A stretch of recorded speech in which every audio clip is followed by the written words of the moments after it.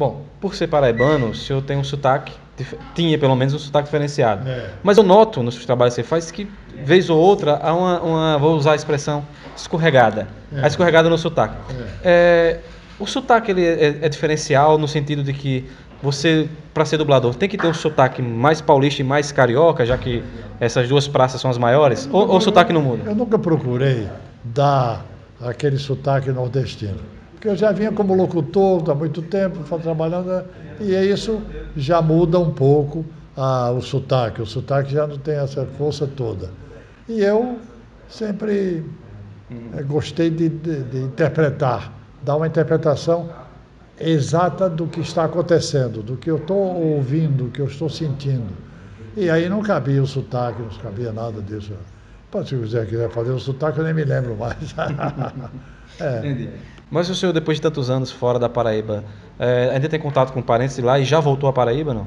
Ah, já voltei, mas há muitos anos que eu não vou, né? Eu vou lá, ainda tenho uma irmã com, com sobrinhos, com, tem sobrinhos muito ligados a mim, mas eu não.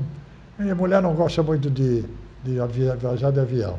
E eu geralmente não tenho muito tempo aqui, porque eu não sei quando terei férias.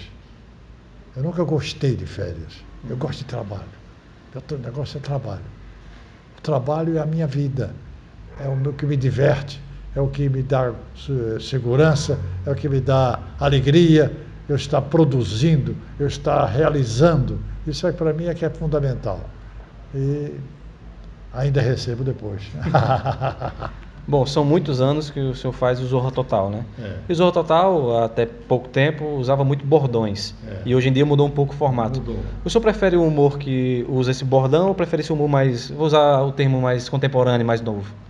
Eu prefiro mais aquele que faz o tipo, os personagenzinhos, que é aquele dali é muito melhor.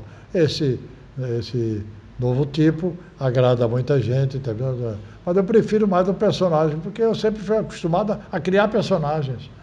né? Então, a, a Zorro, eu fiz dezenas de personagens diferentes e era gostoso você estar tá noutro, noutro, noutro, noutra inflexão, no- noutra reação, noutra, noutro olhar. né? Isso é muito bom.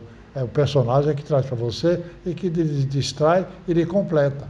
Já que a gente não pode viajar, Vamos trabalhar. Não era tão bom se todo o apartamento fosse tranquilo assim? Ah, que é isso? Se eu soubesse que não era o original, eu não tinha invadido. Isso, isso. Como é para agradar a todos, o farei.